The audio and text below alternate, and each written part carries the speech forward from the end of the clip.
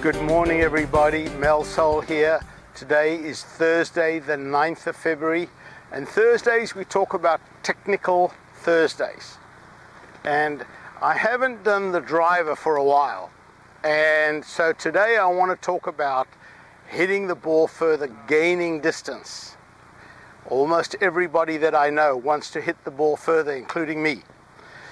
So what you've got to understand is there's only one thing that gives you distance, and that's club head speed. That club head is traveling at 100 mile an hour. You're going to hit the ball about 250 in the air. If you want to hit the ball 300, you've got to get this up there. You've got to get it to 210, 215. So speed is important. So one of the things you want to do is practice, and you can do this, you know, at home, but you want to practice swinging hard, generating speed.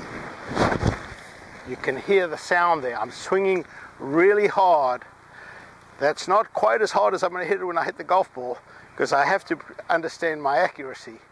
But in order to teach the body to react, you watch Jordan Spieth, you watch Rory McIlroy. Those guys don't stand up there and dink the ball. They stand up there and they rip it. If you want to hit the ball, number one, speed. Number two, body rotation.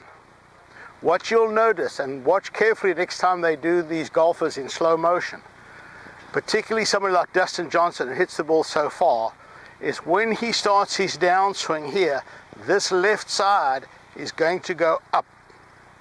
And if you watch his belt in particular and watch his belt buckle, when he gets here, as he gets about this position right here, you'll notice everything here will start going up as he comes through.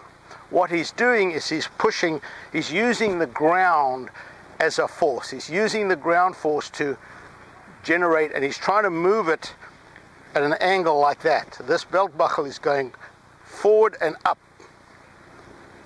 So I want you to practice just from here doing that. Coming up. And what you'll notice as this leg straightens, this hip will turn automatically. You don't have to think about turning the hip. That's going to go automatically. Now that's going to take a little bit of time. As I said, this is Technical Thursday, so we have to now work on technique. So on the practice range, you're going to now add speed, but now with this, using this ground force. So now you can see I'm pushing off here and doing that. Now, go to the ball. Now, I don't care where the ball goes. I'm focusing on speed and pushing off.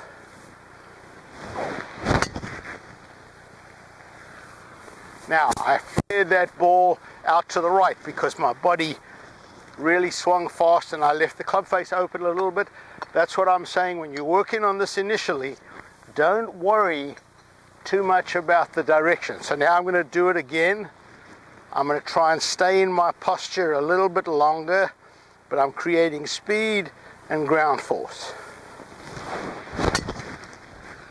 See, I'm swinging as hard as I can. That ball went right, not as bad as the first one.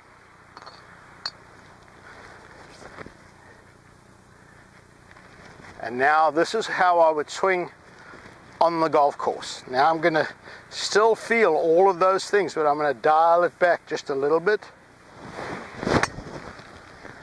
Caught that one a little thin because I'm concentrating on pushing up. What you can see as you're doing this, don't get wrapped up in, oh, that was a terrible shot. You're on the range, you're working on your game, who cares where the ball goes?